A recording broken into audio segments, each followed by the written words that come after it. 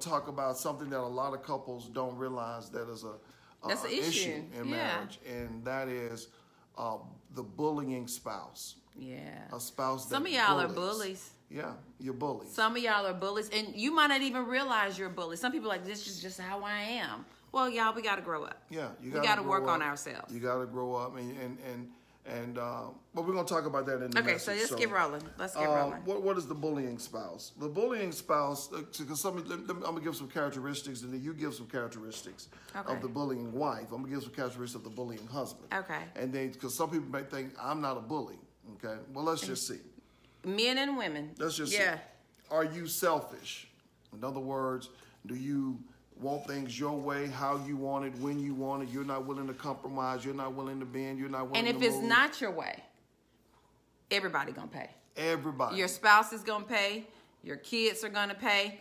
People are gonna pay. And you might say nobody acts like that. Yeah, they yeah, do. They do. Well, yeah, well, let's they talk do. about let's talk about how they pay. Because they- okay, what, about- what do you mean by pay? Well, sometimes you're gonna pay my spouse back, but I'm just not gonna talk to him. Not gonna talk to you, give you the cold shoulder, withhold affection, walk through the house with an attitude. You come in and you just you suck the air out the Right. room. People like- feel it's your presence, almost but not right. for a good reason. It's almost like walking on eggshells in your home. okay. You know what I'm saying? Yeah. If, if if I say this, then they're gonna get upset. If I say this, that is a bully. Nobody knows how to deal with you. And, and people start, you get what you want, but you don't get what you want necessarily because you're right. You don't get what you want necessarily because people agree with you. And they say, you know, well, mama, mama was right. Daddy was right. No, people just, they're trying to appease you Right. because you're that difficult to deal with. You, you're making everybody pay and they just want peace to return back to the house. Right. And they'll That's do whatever bully. they can just to get peace. The second uh, characteristic of a bullying spouse is abusive. Now, this one is very kind of out front in your face. Oh yeah. Well, let me You let's know. say something because when we talk about a bullying spouse, and I'm glad you said that, uh, sweetie, because there are some things like you said that are just obvious. You guys know putting your hand on somebody, hitting somebody, cussing somebody out, smacking them to the ground. Everybody's like, okay, we get that. Right. We get that. And if you don't get that, please understand somebody talking down to you you know, being, and I'm not saying constructive criticism, you know what I mean. Talking to you nasty, putting their hands onto you, you scared to leave out the house, you you got to tiptoe out the door, that kind of stuff. You know that's not right. But I think today we want to shed light on the other things that people are doing that y'all are allowing to happen, that you're doing yourself. You know what's going on. You know it's going and on it's just not right. and you've just accepted it. You've just accepted it. So okay, so go on. What's the more Number bullying three, ones? are you controlling? You got to have sex the way You you want to have sex. You got to do it. When I say do it, You control the- you control the your way. money. That's a bully. You control the grocery list. You control when somebody can talk. You control everything. Now, and I don't don't don't misunderstand what we're saying. In a home, there are roles and responsibilities, right? In a home, there are many things that have to be done. So we divvy things up. You know, this is what you need to kind of oversee and make sure that it's handled. This is what this person oversees and make and make sure it's handled. We're not talking about that. Right. We're not talking about you handling what's been uh, assigned or agreed upon or you being diligent but that control nobody Right. else has an opinion nobody else has a say if somebody says something to you if they bring up if they have a difference of opinion you got a problem with it Right. you shut down you're angry you're upset that's controlling and that's what we're talking that's being a bully well we're not gonna say nothing to daddy if you say anything to daddy Or if daddy, if, or if mommy don't get her way, she'll she'll just be silent. She won't talk to us. She won't do this. She won't do that. Sometimes, I mean, this is one of the things we've noticed a lot of times in wives. You know, you'll hold out on sex. You won't let him. I ain't gonna give him none until he do what I ask him to do. That's a bully. That's manipulative behavior. I may I thought about not using bullying mm. because a lot of people don't think they're bullying their spouse. They want to use the creative word manipulation. But mm. you're bullying. You're bullying them. Whether you want to call it manipulation, controlling, or whatever you're doing, you need to grow up and you need to correct some When things you get because you're destroying your home. When you do things to make somebody do something against their will that they don't want to do, and you're doing it by controlling behavior, you're bullying. Right. You're putting that pre- you're, you're, you're turning into a bully. You're not having a conversation or a dialogue. Exactly. Y'all not having a meeting of the minds. Exactly. So, okay. Last one. Are you um, loud and interrogating? You know, Some of y'all went into the wrong career fields. The mm-hmm. FBI needs some of you guys. Yeah. The CIA needs some of you guys. Some of y'all need to be in law enforcement because you interrogate people. You interrogate your spouse. I know a lot of couples. Sometimes they'll ask questions so many different ways to try to get a They- different they're answer. trying to trip you That's up. interrogation. You shouldn't. You shouldn't keep. You you should not put that kind of pressure on your. Now now there are other things that that plays into that. Like Mm-hmm. for example, you know we got a series that we teach on trust. We got a series Mm-hmm. that we teach on unforgiveness. We got a series that we teach on those things. We understand that trust and and and, and if somebody did something wrong or anything anything like that, and you and you want clarity and insight on different things, we understand that. Now we're not talking about that. But what I'm talking about is this interrogative behavior that you just keep pressuring someone to get the answer that you want and Yeah. not the truth. Your spouse isn't on trial. Your spouse isn't a criminal. I'll give you an example. I remember uh, many, many years ago, I had an opportunity to talk with a young lady and talking about bullying and controlling. And I, I came to the very conclusion, and I don't believe in sticking labels on people, but her husband, he was a, he was a bully. He, he really, really was a bully. I remember once we were having a function, uh, many, like I said, many years ago, um, at church, and the ladies were doing some things, and her husband was out of town, and I think her and her kids needed some food. I mean, just something minor. I mean, like, like we were going to get like sandwiches, and she didn't have any money. She didn't have any money because she forgot her purse. She didn't have any money because it was just, you know, they had a couple of more days for the end of the month, so the check hadn't dropped and things were tight. She didn't have access to anything. Nothing.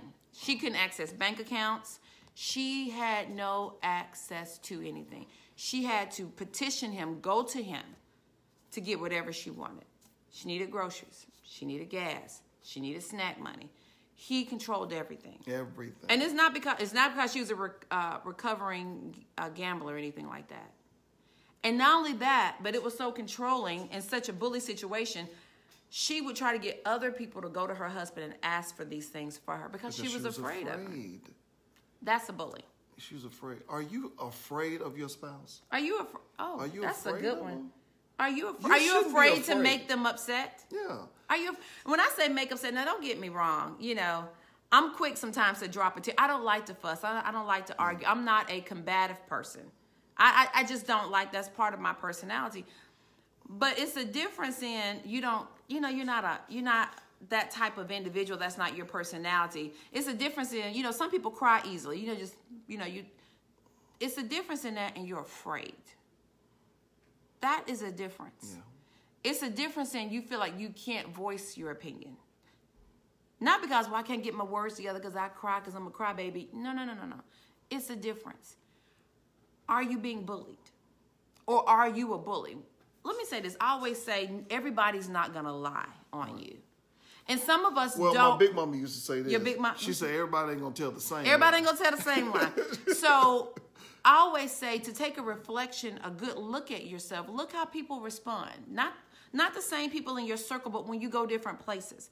If you go different places and and you talk to people and everybody kind of cower back, You're a bully. you you you might be or I want to say or you might be coming off a little stronger than what you realize. Exactly. Maybe you need to work on communication. If everybody's afraid of you, everybody kind of cowers back. The, the girl at McDonald's don't want to serve you. The people at Shoney's running Your from you. children are afraid. Your of you. children, nobody the say dog, nothing. The cat, everybody. the dog go in the other direction, hide under the bed when you go. You might need to take a look at yourself. Everybody's not going to tell the same lie.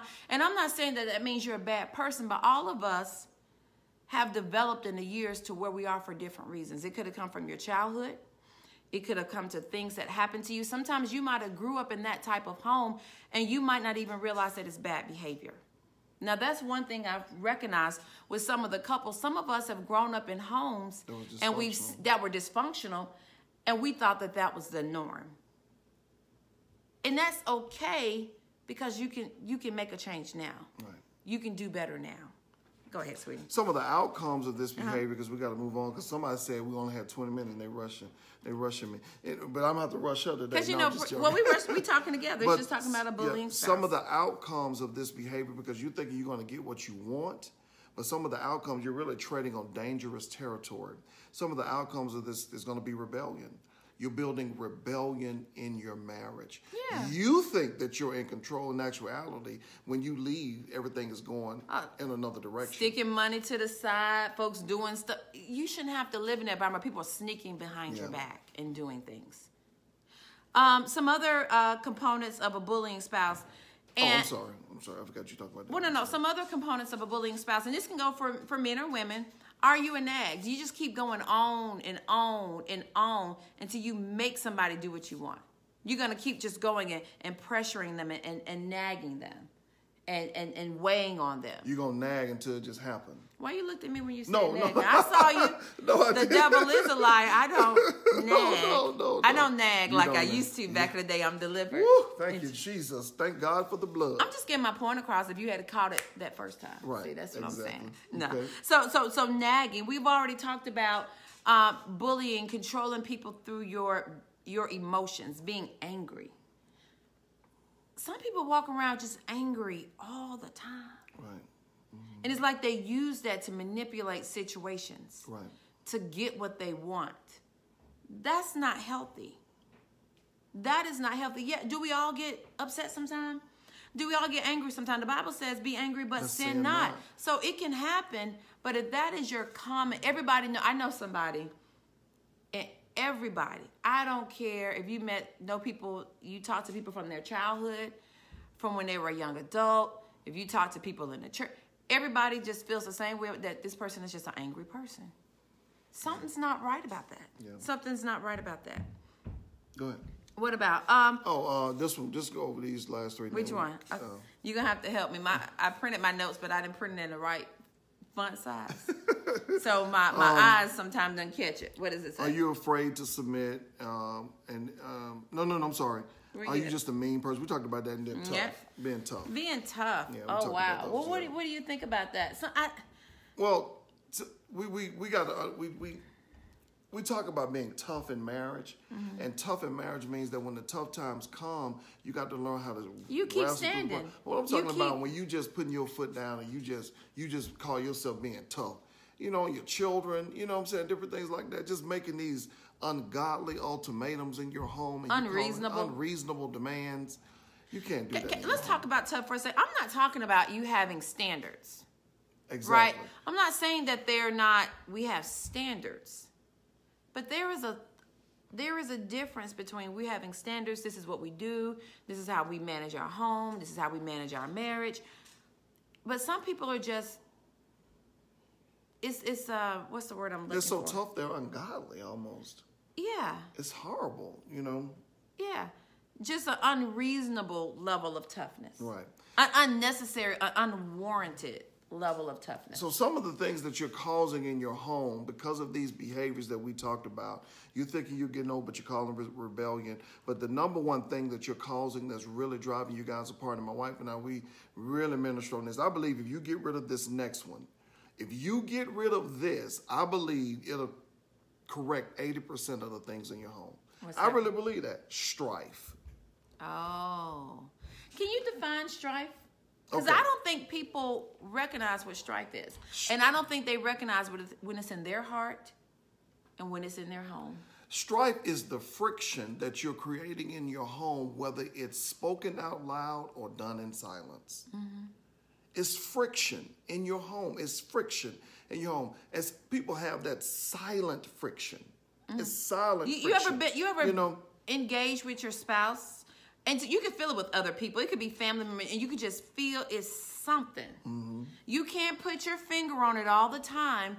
You don't, might not even know where it came, but you can feel it. That's that It's almost like you can put your hands on it, but it's invisible. It's that strife. yes, yes. That strife strife will destroy your relationship. If you get rid of the strife, It I will mean, destroy if your marriage. you It will say- hurt your kids. I'm telling you, that strife thing, it builds so many different things that can destroy your home. Get rid of the strife. I think we need to minister on strife. We won't minister on that on next month, but I'm going to come back and really revisit Yeah, that we topic. gotta talk about because strife man. because I'm don't think you. people recognize it, and it's amazing.